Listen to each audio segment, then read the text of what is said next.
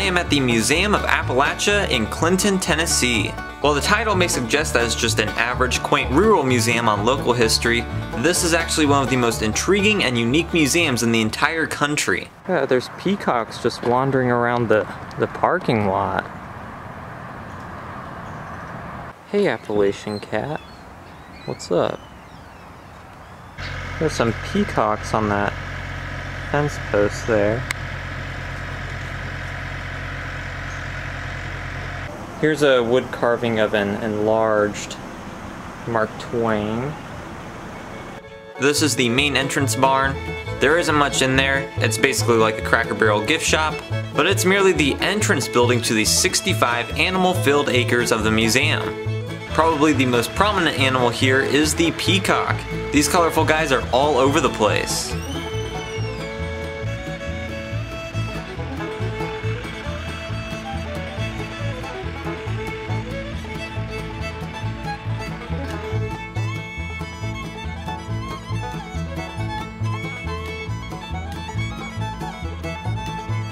This is the Tom Cassidy House. He was a local folk musician who lived the last decades of his life in this little shack until his death in 1989.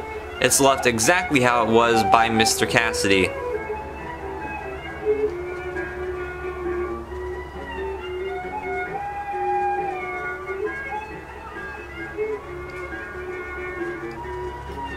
This is the Gwen Sharp Playhouse, built for a one-armed traveling salesman's daughter, and this was the only structure saved from TVA damming in all of eastern Tennessee.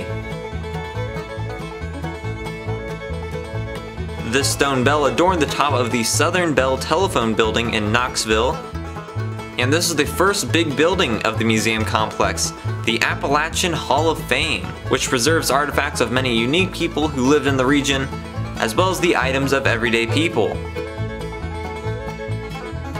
First off, the grandfather clock of Sam Houston, leader of the Texan Revolution and president of the Republic of Texas. He was from Appalachia, and it is believed to have been his because his name is stenciled on the inside.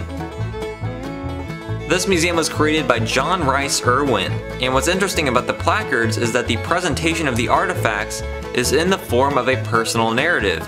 They're almost all handwritten and presented from his point of view. Hacker Martin was one of the last old-time gun makers in America, and he made this rifle for his son. The sign says, what better way is there to know a people than to study the everyday things they made, used, mended, and cherished, and cared for with loving hands.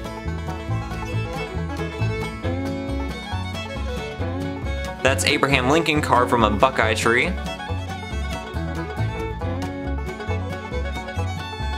A display on Alex Stewart, who was a cooper, coal miner, blacksmith, furniture maker, dentist, musician, moonshiner, farmer, mountain philosopher, and master of a hundred other trades and crafts. They have a lot of examples of his wood carvings on display.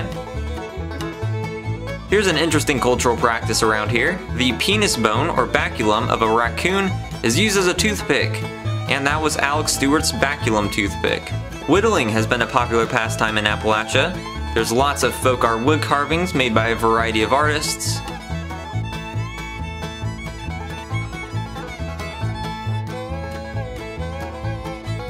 Here's the work of another famed craftsman, Joe Deal,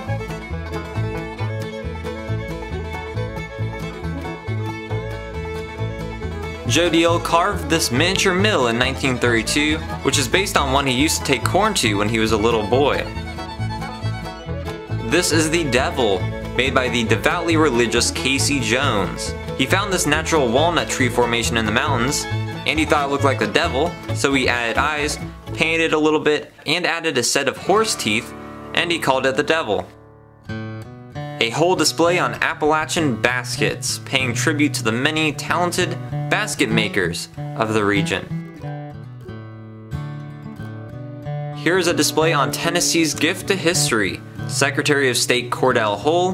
He served in that position under FDR from 1933 to 1944 and was an architect of the United Nations. He was born and grew up in nearby Birdsville. That was his trunk which he used to ship articles back and forth from his home here in eastern Tennessee.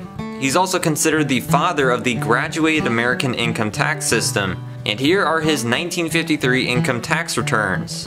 There's also his personal invitation to the 1933 inauguration, signed by FDR and Vice President John Nance Garner, as well as his leather portfolio. Sergeant Alvin C. York of World War I also hailed from Appalachia. He became a national hero and celebrity after heroically taking German machine gun positions, saving several of his own men.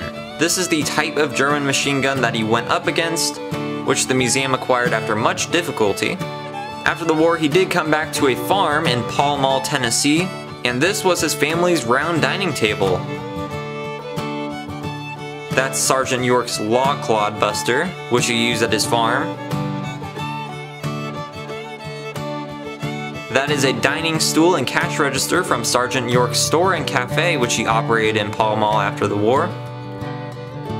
There's the sergeant's post-war pants, and some other items showing his legendary status in his own lifetime. That's believed to be the razor case he carried with him while fighting in France during the war. That is York's leather jacket, which he really liked, and it was found 45 years after that photo was taken in an abandoned building filled with dirt and a nest of mice. That is a shotgun signed by Miss Gracie York, the sergeant's wife.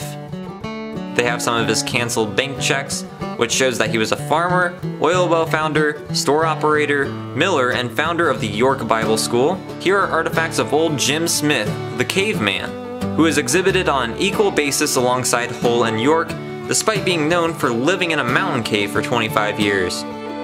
Moving on from the three mountain neighbors, there's some more items of average mountain folk,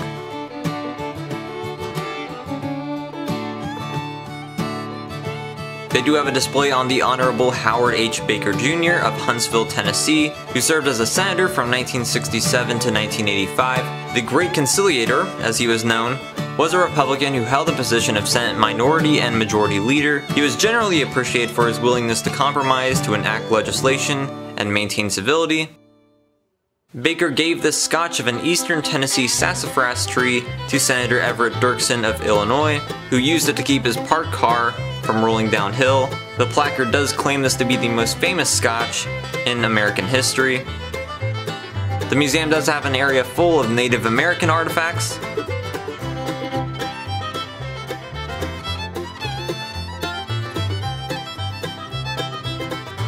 These celts, which are over a thousand years old, were used for skinning animal hides. If you do visit, I do recommend reading the homemade personalized descriptions. A lot of them tell the story of how they got a hold of these artifacts, and they are much more interesting than the average museum placard.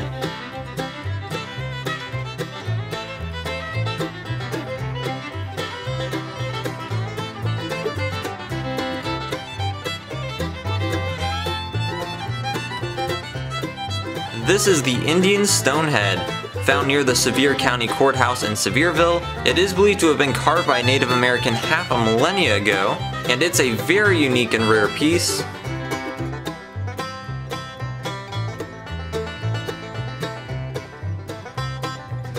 Now this is one of the most interesting items in the museum, the Perpetual Motion Machine. It was created by a rugged scientist named Asa Jackson here in the Appalachian Mountains sometime during the antebellum period. This 6 foot wheel contraption, according to legend, could spin without stopping, it could produce its own power, and it could run forever. As you can see it is made of thousands of little wooden parts, and it's very complicated. When the Civil War broke out, Jackson didn't want the Yankees to get a hold of his technology, so he hid it in a cave and removed several critical pieces when it was unattended to, so that it wouldn't work. After 1870, Asa Jackson left his invention with the key pieces needed to make it run, and this machine has remained a broken puzzle ever since. No scientist has been able to figure out how it supposedly worked. Here are the contents and keepsakes of Jonah Asa Jackson's old trunk. He was the grandson of the inventor of the perpetual motion machine, and he had no idea how it worked either. Here's a collection of children's toys.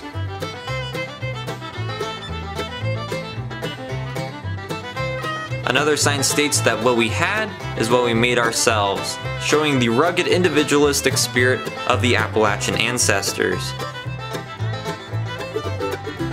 John Sevier was the first and only governor of the lost state of Franklin, which existed in eastern Tennessee from 1784 to 1788. Then he went on to become the first governor of the state of Tennessee.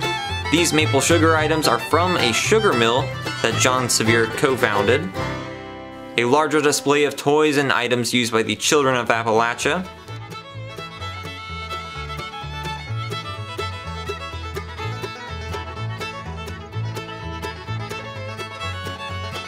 That's a horrifying doll.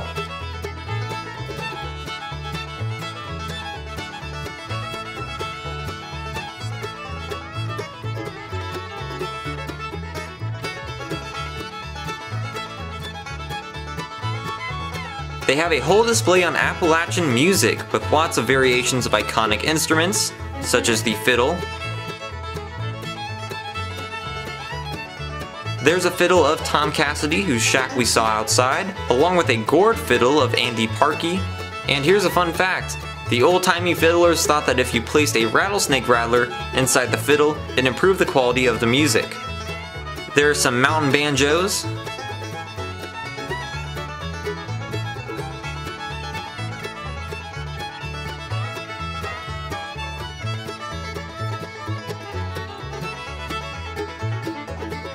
some of the more unique instruments, along with some mandolins and guitars.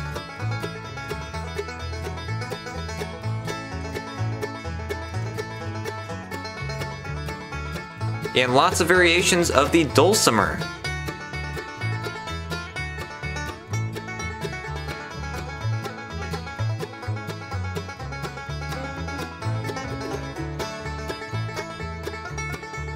There's Ray King's Elvis style guitar, Bill Monroe of Kentucky was the father of bluegrass music, and they have his summer hat. Some items of Grandpa Jones, who was known as everybody's grandpa, and he was a popular old-time country singer and banjo player. Here's the trophy closet of fiddling Bob Douglas. He got his first pair of shoes when he was 9 years old, and at age 75 he won first place in the National Folklife Fiddle Contest. This was the medicine house of the hard-working Dr. Andy Osborne, which was located in Blackwater, Virginia. He was known for never charging his patients except those who could afford to and that offered, and just about every item in here is original. Upstairs they have some interesting Civil War relics, both northern and southern soldiers often had to forage off the land and the private property of families, so many, especially here in Appalachia, hid their belongings, such as the Warwick family, who hid their savings in the sugar bowl, and the Martins, who hid their valued fill in this little coffin that they buried underneath their barn. David McKinney Carter was 24 years old when he was killed in the war. These gloves and this billfold are the only possessions he had left. And there are some other personal articles of men killed in the war. There's Bob Hill's Civil War chair, which he made while hiding out the war in a cave. A large ammunition box used at Franklin and Murfreesboro, and other items from the Civil War. A very impressive assortment of relics found on the battlefields of eastern Tennessee, or carried by the soldiers who fought at them. That is a wooden cannonball. Since the South was usually short on manufactured items, sometimes they made heavy wooden balls for their cannons. That is a now blackened and rotted hardtack, scavenged from the trash pit of General Joe Wheeler's encampment from Chattanooga. Examples of various commonly found items on the battlefields, like bullets, buttons, and coins, some excavated belt buckles, and other relics found from the battlefield of Saltville, Virginia, that is a genuine Civil War amputation kit. Civil War surgery was gruesome. This is the bitten bullet. Because there was very limited anesthetic, soldiers were often given a bullet to bite on when they got their limbs amputated, thus the term bite the bullet, and this bullet is confirmed to have teeth marks on it. Here's Dr. Huffmeister's surgical and pharmaceutical items. He served as a doctor on the Union and Confederate sides because he wanted to help as many injured soldiers as he could relics from General Longstreet's encampment where his army stayed during the winter of 1863 and 64 in Upper East Tennessee.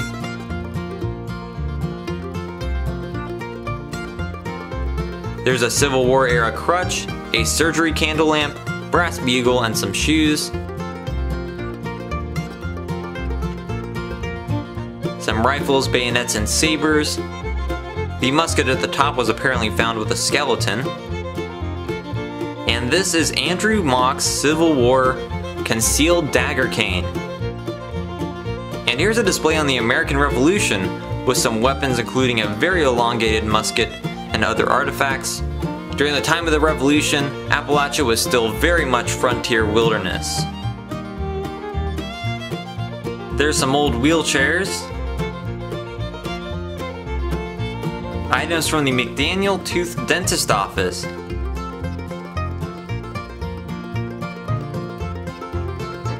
This was Uncle Dr. Ira Carter's buggy.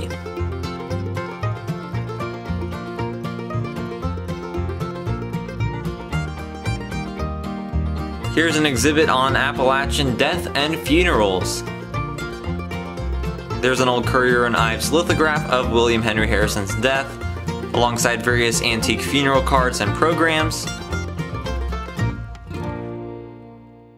Two unknown girls had their locks of hair tied together in this box, presumably when they died. That's a sample coffin and suit on display like it may have been at the funeral home. This is a Fisk coffin, a creepy cast iron coffin with a face hole. And there were some burials like this in Appalachia, and also John C. Calhoun was buried in one of these. Several more coffins along with grave digging equipment, there's a classic cast iron hearse. They were well decorated back in the day.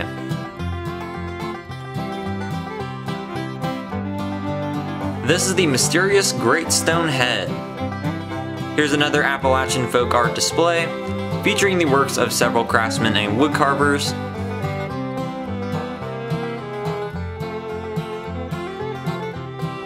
Fred Carter made these carvings of President Jimmy Carter and First Lady Rosalynn Carter because he believed he was related to them. The artist thought Jimmy Carter smiled too much and wanted him to look more serious and statesmanlike, so there's no goofy smile on him. There's the head of Daniel Boone. That's a matchstick church. Very impressive. There's a Conestoga covered wagon, which was made by Moravians in Winston-Salem, North Carolina in the early 1800s. And there's many more typical everyday antiques up here.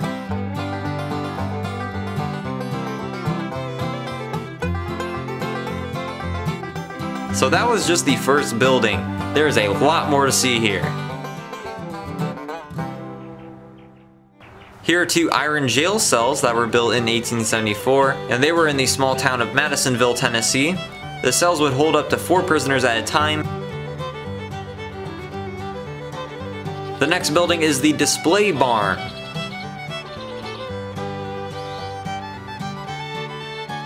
They have a lot of carpentry tools and equipment in here, along with the tools of other crafts. Here's a display on the American Axe.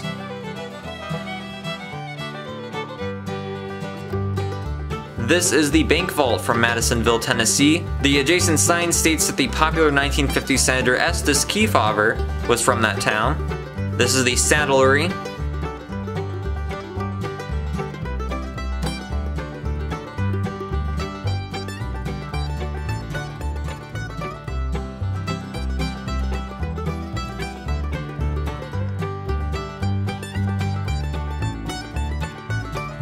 There's a tar rock used for greasing wagon wheels and treating hogs for lice.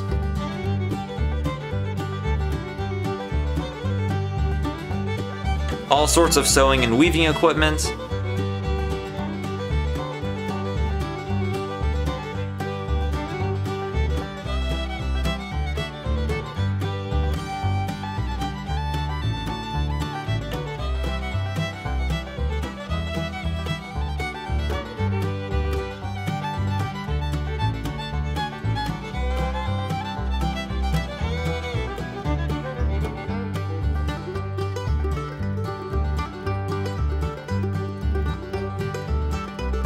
This area is set up like an old general store, that's pretty cool.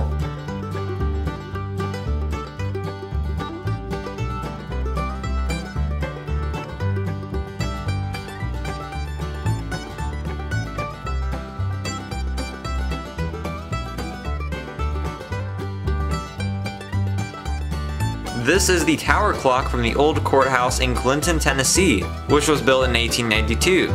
That's awesome. As you can see, this barn is packed, housing a fragment of the over quarter million exhibits on display at this museum.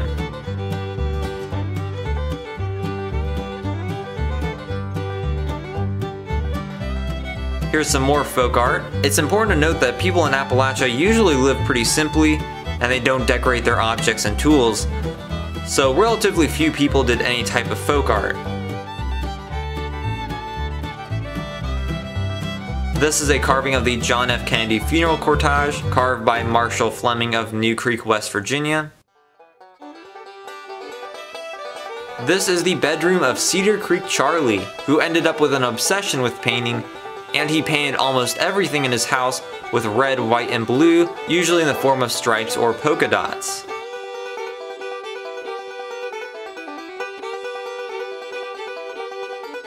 Gourd art is a thing around these parts.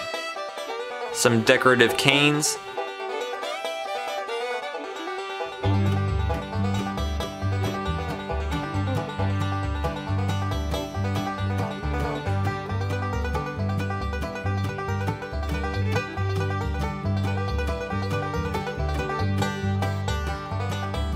Here's an extensive collection of animal traps along with some taxidermy.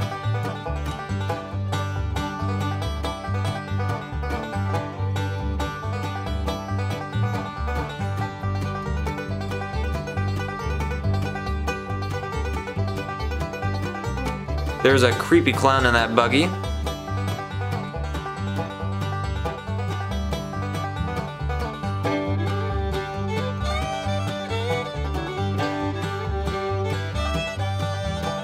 Some Appalachian bells and horns.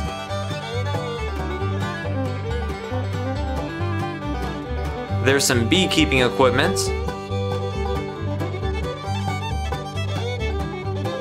A display on the history of raising corn.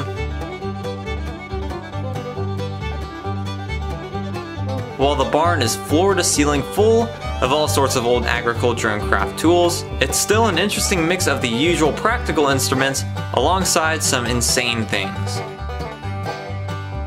The nearby People's Building houses a display on Harrison Mayes, one of the South's most interesting folk artists. He was crushed in a coal mining accident and expected to die, but he didn't. As he believed God spared his life, he dedicated the rest of his life to becoming God's foremost ad man. He spent 50 years making these 2 ton each stone heart signs and crosses, as well as other signage, and he started placing them around the country. He never learned to drive, so he enlisted the help of his poor family and friends for his work, and he also didn't really know how to spell. Mayes believed he would live to age 120 and would have the opportunity to travel in space, so he designated some of these signs to be placed on the moon and Jupiter. He didn't quite live long enough to evangelize to aliens. He died in 1986, and he left a whole bunch of these signs at his house which he had planned to spread to other areas. So now they're on display here. He lived in a giant cross-shaped house called the House of Many Crosses in nearby Tazewell, Tennessee, and this is a model of the house. They do have his shirt, which he drew hundreds of little crosses in, along with his bicycle, which he would sometimes use to get around, always evangelizing his firm beliefs, of course. That's Harrison Mayes' studio desk and library table.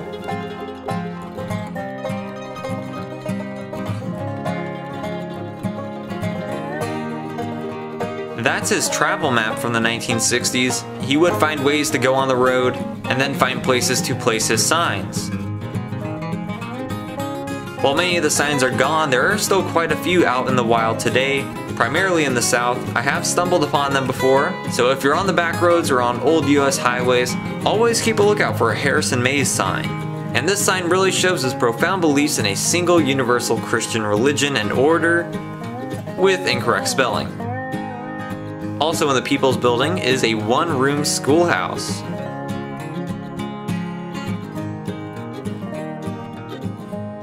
These are the carvings of James Bunch, who worked as a carpenter and took up the hobby of whittling with his pocket knife, and over the years, he created all sorts of great artwork.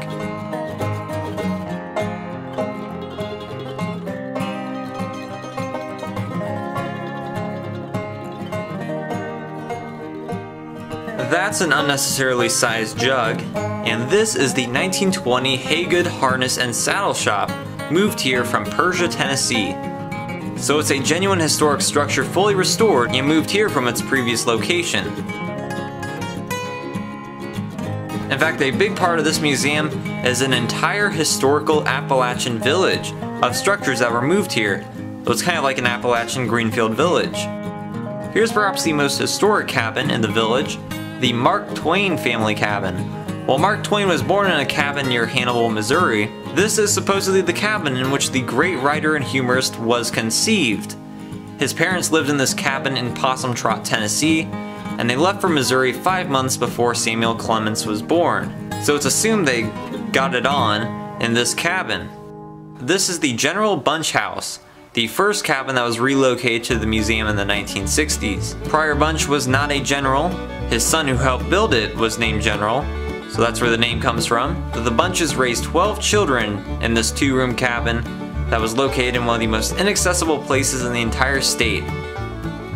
They had to walk 12 miles across mountains to get to the nearest store. This is the Bunch Smokehouse, where meats would be stored, cured, and smoked.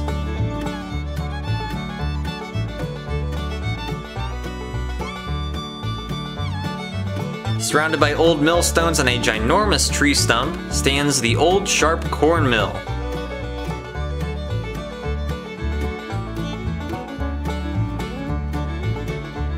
This is the McClung House, built around 1790.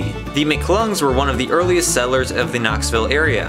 This home was later used as a makeshift hospital during the Civil War.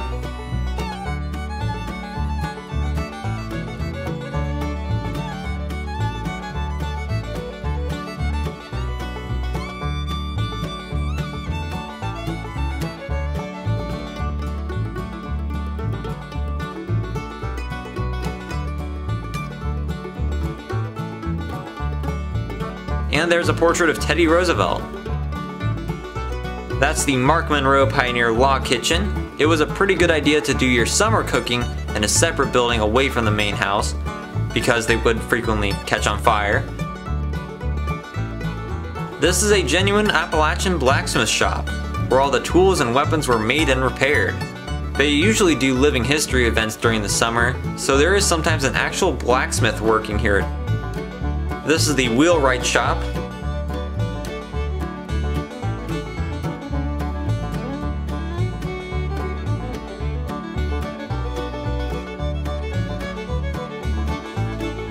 And here's the chicken pen. They live enclosed at the wheelwright shop. While the chickens have to stay in their cage, the wild turkeys are free to roam around outside and tease them.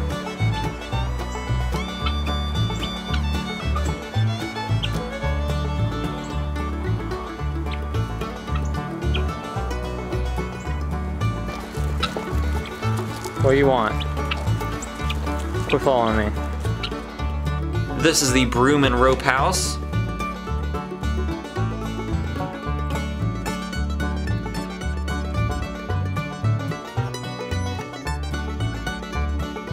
That's pretty cool, a vintage cart of Doc Randall's old medicine show.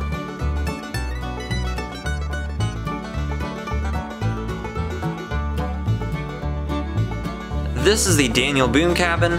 It was built in the early 1800s, but it doesn't have any connection to Daniel Boone himself. But this cabin was used in filming of the 1977 CBS TV series Young Daniel Boone, and this was his frontier home. It is furnished with some of the oldest pioneer artifacts in the museum's collection.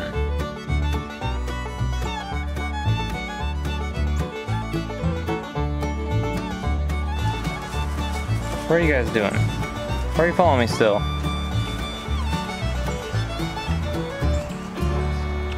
This is the Big Tater Valley Schoolhouse, built in the early 1800s.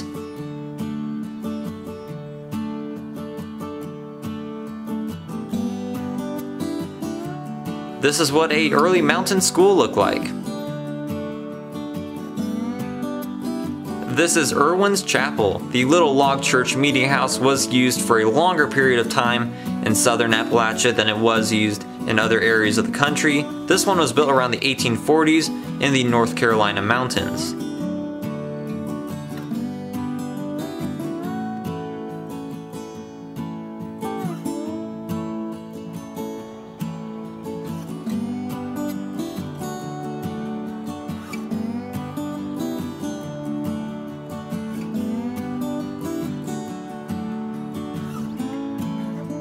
This is the Peters Homestead. It was built around 1840 nearby the museum, and the family lived in this little homestead for over a century.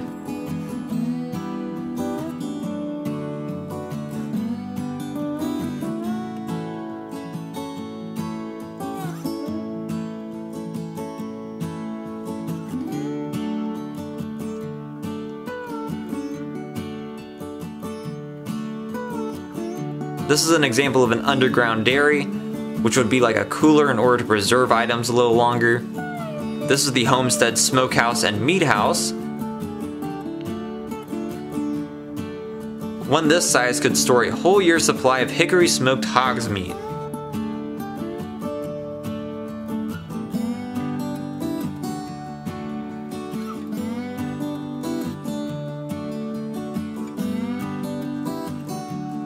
This was the whiskey still of Popcorn Sutton, a famed Appalachian moonshiner who built this authentic liquor still and operated it here in the foothills. He was considered a folk hero even in his own lifetime and was perhaps the last living authority on the subject of moonshine. And after he passed away in 2009, his famed moonshine still was brought here to the museum. This is a unique cantilever barn, otherwise known as an overhang barn, there are very few of these barns in existence, and it is an eastern Tennessee Appalachian thing.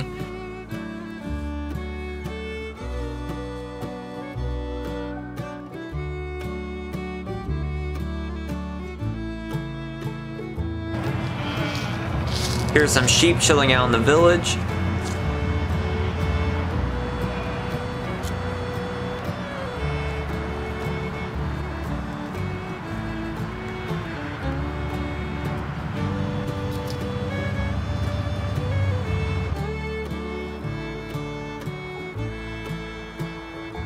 There are actually quite a few really cool relics that I missed here. This is one of those places that you can visit a hundred times and always find lots of new things, so I'm definitely going to be back. So wow, uh, this is now one of my new favorite museums. Uh, this place is just sprawling, so much cool stuff, uh, and so old school.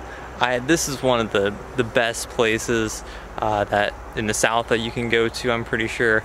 Uh, so definitely if you're on 75 going south or north, uh, try to make sure to stop here. I highly recommend. If you'd like to see other places I've been to, such as museums similar to this, uh, southern culture, northern culture, western culture, all sorts of stuff, so please go check those videos out, and thanks for watching.